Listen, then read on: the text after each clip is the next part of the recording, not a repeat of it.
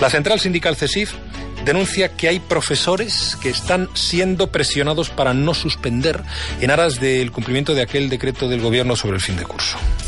Ya tenemos constancia de presiones al profesorado en comunidades autónomas eh, que están aplicando la orden ministerial para que pasen todos los alumnos y que intentar forzar a todos los alumnos. ¿De qué manera? Pues eh, mensajes de los inspectores de que cuando mandan un suspenso, eh, pues le, empiezan a pedir muchísimos papeleos, aumentando más la burocracia a, los docentes, que se acaba de un plumazo diciendo que han aprobado.